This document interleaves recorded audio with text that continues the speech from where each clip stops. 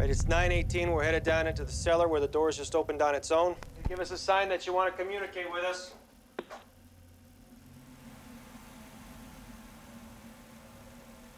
Nothing.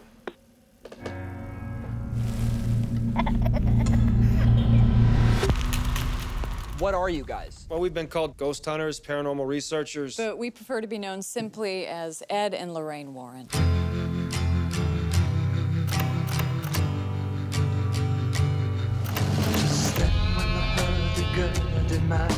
There's someone here that would like to talk to you. There's something horrible happening in my house.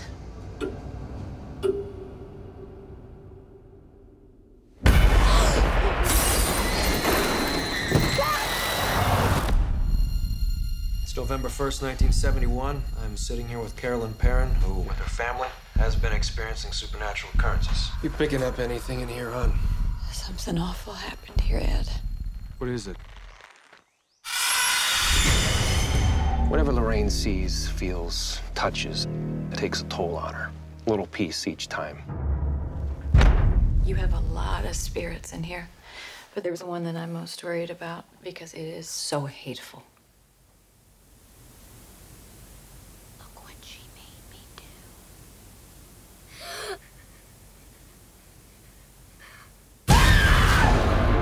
We have to get out of here. That's not gonna help. This thing has latched itself to your family.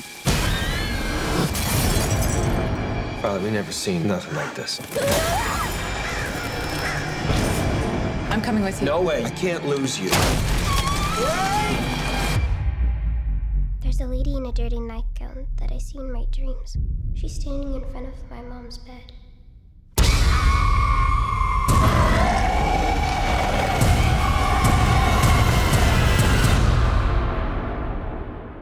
Do you want to see him? Yeah? When the music stops, you see him in the mirror standing behind you.